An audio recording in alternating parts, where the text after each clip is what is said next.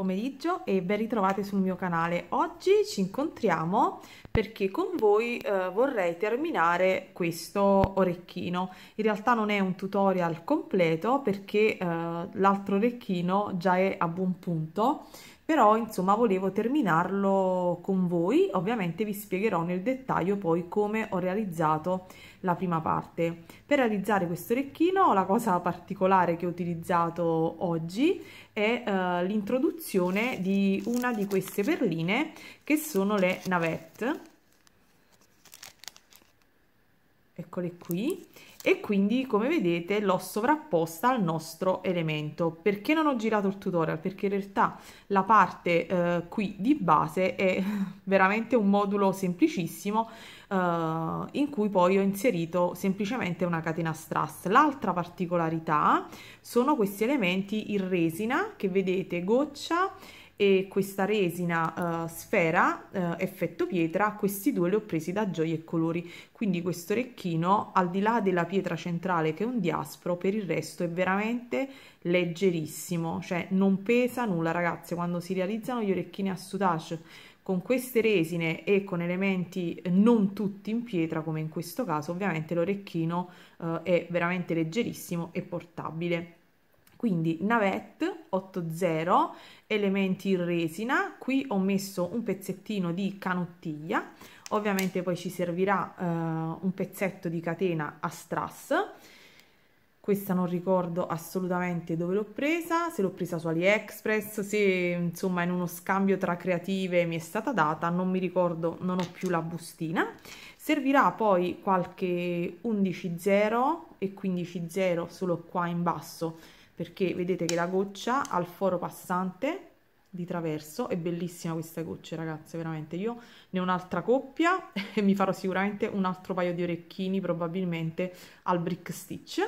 Dopodiché servirà una pietra centrale io ovviamente l'altra già l'ho incastonata al sudash è semplicemente una pietra questa vedete è tipo un lapis e quindi semplicemente l'ho cucita a una base quindi servirà ovviamente della beading foundation oppure dell'easy stiff stuff e poi successivamente eh, servirà io utilizzo anche un po' di ultra suede di alcantara quando vado ad eh, inserire la catena strass. Mi aiuta e mi agevola nella cucitura. Poi ovviamente lo sapete nel sutascio ognuno utilizza la tecnica che preferisce quindi insomma fate come preferite. Io vi spiegherò con un disegnino quello che ho fatto e vi mostrerò a che punto sono arrivata e lo concluderemo insieme.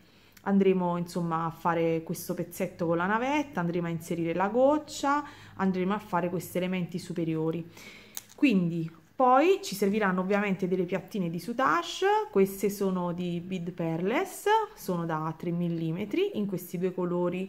Uh, uno uh, me lo ricordo, ho la bustina ancora qui davanti, è questo, Jean Jouil, che è veramente adorabile, e l'altro è un po' più scuro, ho smarrito la bustina, però Ah, ok, no. Allora, l'altro colore è questo, preso da Make Bijou, però secondo me le qualità sono molto molto molto simili, quindi questo è di Make Bijou e questo invece è Jean Jouil o qualcosa del genere. Dopodiché ci servirà ovviamente la colla, un po' di colla, io utilizzo questa sempre per il soutache e ago ovviamente filo, utilizzo il filo Miyuki, però nel punto qui quando cucio la goccia per non far vedere il filo colorato ho preso un filo trasparente in questo momento ho utilizzato il Caperlan e quindi l'ho passato a più riprese. Idem eh, qui quando ho inserito la, il pezzetto di canottiglia. Penso di avervi detto tutto eh, andiamo al dettaglio e vediamo a che punto siamo arrivati con l'altro modulino. Vado a recuperarlo ovviamente vi servirà l'ago e vi servirà poi ovviamente una monachella. Io utilizzo sempre queste in acciaio prese da Fortunato e qui delle coppettine in acciaio dove ho fatto un nodino ad orefice perché non ero molto convinta del tipo di gancio da mettere se l'orecchino veniva lungo corto quindi ho deciso di fare in questo modo, nulla toglie che una volta indossato non mi convinca e cambi qualche cosa. Per adesso così mi piace, lo trovo veramente delizioso e questo l'ho realizzato con i colori del secondo studio di colore. Poi vi mostrerò tutte le creazioni fatte in questo colore verde, marroncino, senape e quant'altro. No, senape non c'entra niente, non so perché l'abbia detto. Adesso vi faccio vedere i colori Pantone che avremo scelto per il secondo studio di Qui, colore. Questi sono i tre colori Pantone che avevo deciso di utilizzare per la realizzazione di qualche mio bijou. Per chi si è perso i video precedenti, avevo utilizzato per lo studio di colori numero 1 altra tipologia di colori, adesso invece ho deciso di utilizzare questi che sono molto molto nelle mie corde. Come vedete qui ci sono va bene delle prove con i pastelli. E, e niente ragazze quindi questi sono i colori. E come vedete questo è l'orecchino. Benvenuto ottobre e questo quindi è l'orecchino che richiama uh, questi colore uh, pantone ovviamente mi ha aiutato tantissimo ma tanto tanto tanto ovviamente questa pietra in diaspro che ha perfettamente questi colori, quindi connubio perfetto e niente, vi lascio quindi al seguito. Allora, vi spiego con un disegnino cosa ho fatto. Allora, praticamente ho preso un pezzettino di beading foundation ed ho cucito al di sopra della beading foundation la mia pietra. Ovviamente la pietra, come vedete, è cucita in trasversale in questo modo quindi eh, diciamo che ho preso il mio pezzettino di beading foundation e ci ho cucito al di sopra la mia pietra dopodiché ho preso più o meno 20 centimetri di piattina di soutache ci ho mancato la C di soutache e sono andata ok diciamo che queste sono due le due piattine sono andata a contornare tutto quanto il mio elemento. Quindi diciamo che queste sono le mie piattine ok?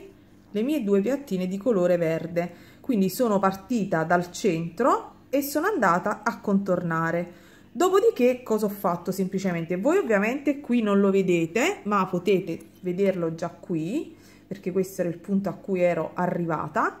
Praticamente sono con le piattine ridiscesa ok? E mi sono portata verso il basso ma prima di fare questo ho dovuto mettere la mia catena a strass. Quindi dopo aver cucito le due piattine ho inserito la catena a strass ed io per inserire la mia catena a strass ve lo mostro dal retro ho utilizzato come vedete un pezzetto di ultra sweet quindi quello che voi vedete in bianco quello che voi vedete in bianco è la beading foundation dove io ho cucito la mia pietra. Questo che vedete più esternamente con un foro centrale ovviamente altrimenti lo spessore sarebbe diventato immenso è un pezzetto di ultra sweet alcantara al di sopra del quale io ho poi messo la mia catena a strass. Una volta che ho messo la catena a strass utilizzando ovviamente la colla, ho messo la catena a strass, dopodiché ho cucito, quindi vedete ci sono tutti questi punti fatti con il filato verde in cui ho cucito la mia catena a strass, ho cucito ogni due castoni, quindi la catena a strass è sia incollata che cucita. Dopodiché sono passata con il filo di nylon trasparente vedete ancora collegato. Ho rigirato tutte quante le mie, le mie piattine tutte e due e le ho portate in basso disegno perfetto e sono arrivata praticamente a questo punto per continuare. Quindi quello che ci tenevo a mostrarvi che spero sia chiaro con il disegnino è quello che ho realizzato qui. Semplicemente parto dal basso giro le piattine cucio metto la catena strass giro attorno con le mie piattine e chiudo qui. Come vedete ci sono i puntini insomma si vedono uh, sono trasparenti quelli invece cas dei castoni della catena strass si notano. Quindi arrivate a questo punto era inutile fare un tutorial ultra lungo quando in realtà facciamo sempre tra virgolette un pochino le stesse cose. Adesso eh, vado inseriamo insieme le 8-0 e poi andiamo insieme a realizzare questo piccolo elemento fatte con le navette e poi tutto il resto. Probabilmente metterò una musichetta di sottofondo e dalle immagini riuscirete a capire quello che sto facendo. Se voleste realizzarlo visto che vi ho detto la, la quantità di sutage vi dico anche uh, quanto misurano uh, queste pietre uh, che ho incastonato misurano circa guardate tra i 13 e i 14 mm quindi potete regolarvi con la quantità di sutage va bene? Meglio tagliare un centimetro e gettarlo anziché poi non averne per finire il modulino. Tenete sempre presente questo. Io occhio croce mi sembra che avessi usato un, un 18 19 però voi andate col 20 e via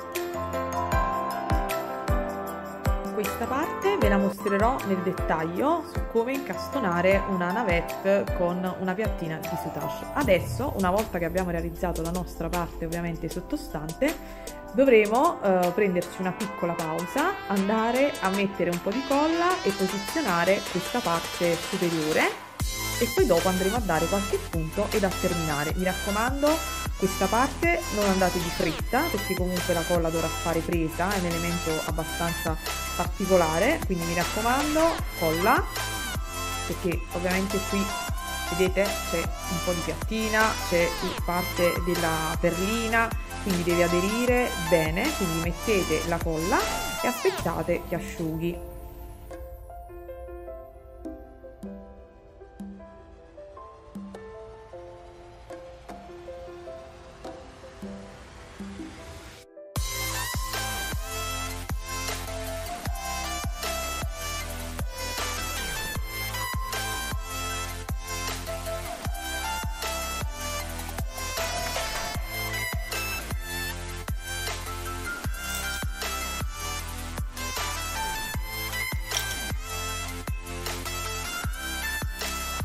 Diciamo che un pochino la colla ha fatto presa quindi adesso diciamo che pian pianino tenendo sempre ben fermo il nostro elemento dal retro ok cerchiamo vedete di dare un puntino per collegare i due elementi. Mi raccomando tenete bene perché non vogliamo assolutamente ok che l'elemento si stacchi altrimenti dobbiamo ricominciare da capo. Quindi ho dato un puntino piccolissimo fate la stessa cosa anche voi quindi in vari punti ok?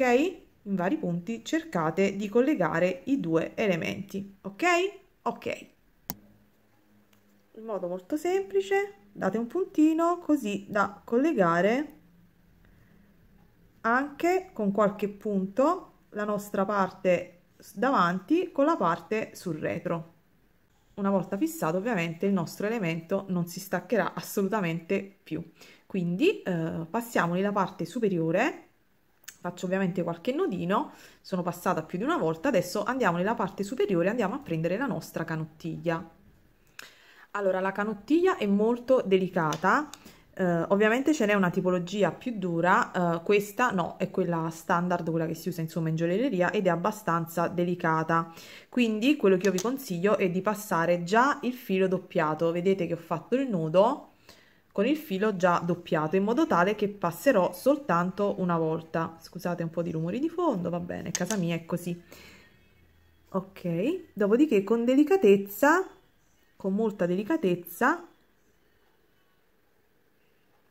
vedete che appena la si tocca si, si può insomma sfaldare e aprire quindi con molta delicatezza infilatela sul vostro ago e spingete fino in fondo. Dopodiché andate dal lato opposto.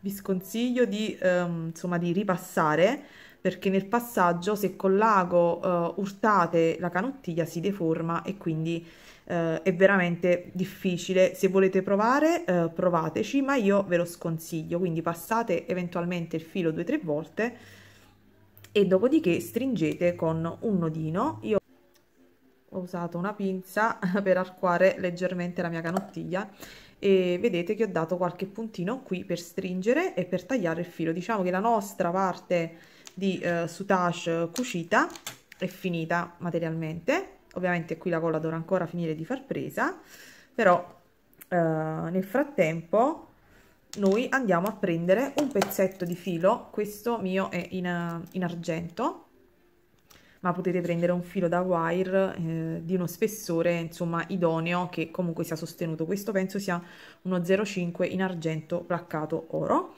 Potete utilizzarlo eventualmente di ottone e comincio semplicemente con fare una piccola solina. Eventualmente ve lo metto velocizzato, ve lo spiego prima, asolina, nodino da gioielleria, coppetta, perla, coppetta, nodino da gioielleria e chiudo. Velocizzo il video, però volevo spiegarvelo, quindi vado, procedo, così,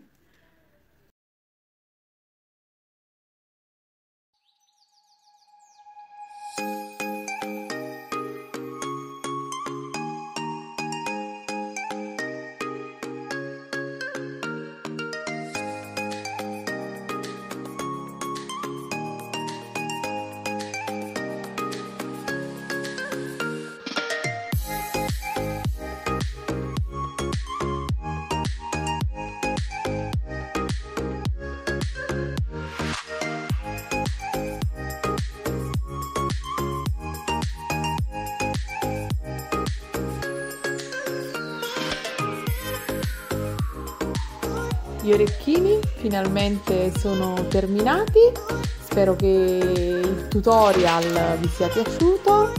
E come sempre ragazze buona creatività a